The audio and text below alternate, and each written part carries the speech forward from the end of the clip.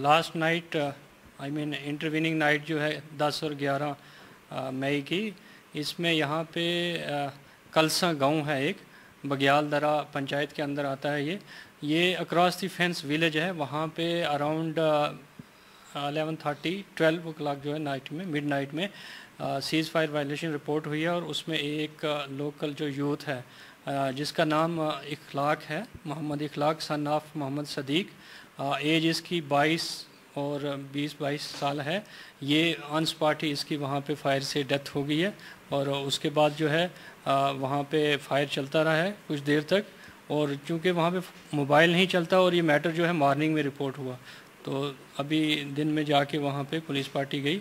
In fact मैंने खुद भी वहाँ पे विज़िट किया और हमने डेड बॉडी वहाँ से लेके लीगल फॉर्मेलिटीज़ करके और फाइनल जो बरियल वगैरह के लिए वो हमने डेड बॉडी जो लीगल है उसको दे दी है।